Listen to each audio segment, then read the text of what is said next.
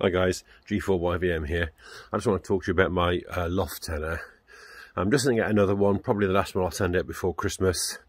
And uh, I just wanted to say, uh, you know, if you're thinking about a Loftenna, if you've got very limited space, but you can get an indoor aerial uh, in a loft space, the Loftenna is really worth looking at.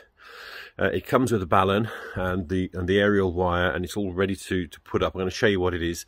But I wanted to say something about it this morning because I've just uh, built one here for a customer and uh, tested it.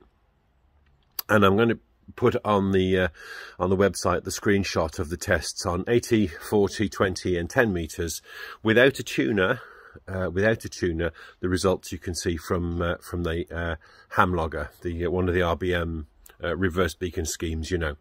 Um, these things really work. I know they seem as if they they shouldn't work, uh, and do, people do say, oh, they don't work, but they do. And people who buy them and use them, uh, seriously, they work. So if you're interested in an internal, an indoor antenna, then the the uh, loft antenna is great. I'm going to show you this garden. This is the unknown you get with it. Uh, those are the um, counterpoises. I've got them coiled up at the moment because they're new, they're for a customer, but you can trail them in your loft or you leave them like that. You'll see the screenshot. And then the antenna goes down here and it's six meters long and it comes down to a pole at the end with a, a nylon um, lanyard on and you just fasten that to your uh, interconnism in the loft. Obviously this is in free space, but you can see how low it is. It's uh, it's three or four feet off the ground.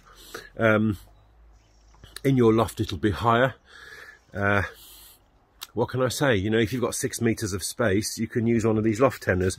If you struggle for space, um, I can possibly make up a, a, shorter one for you, but this is the six meter version, uh, and it works extremely well. Thanks for watching, and I say, if you're interested in internal aerial, if you could only get an indoor aerial, then the Loftenna is certainly something to look at. Um, certainly better than some of the uh, miracle whips and loops and things that, uh, what can I say, they don't work.